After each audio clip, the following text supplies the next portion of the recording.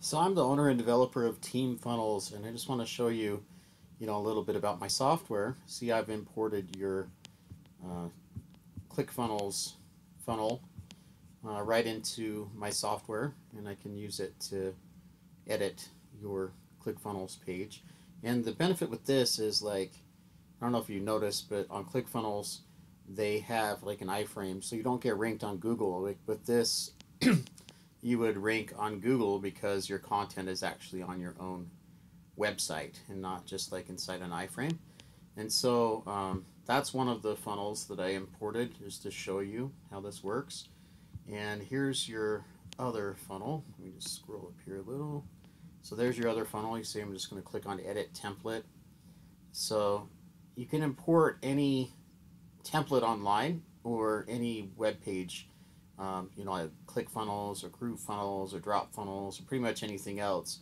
So, you know, people can import the funnels they've already built into this software, and this software is free for one funnel. And then if they want to build additional funnels, they would pay you 100% of $249 or $39 a month.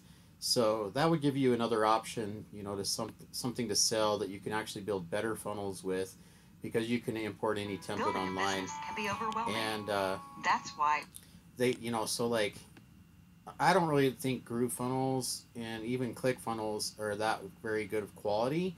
Um, you know, there's these templates online that you can get that are much better quality, and you can import that, those into the software and use those to build your funnels with.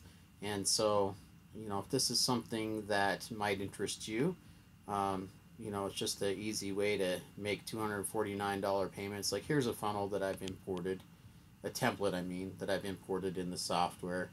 Um, you know, so it's just you can you can get really nice high quality designs instead of just you know what everyone else has with groove funnels or click funnels, You know, something more like this where it just looks a lot better.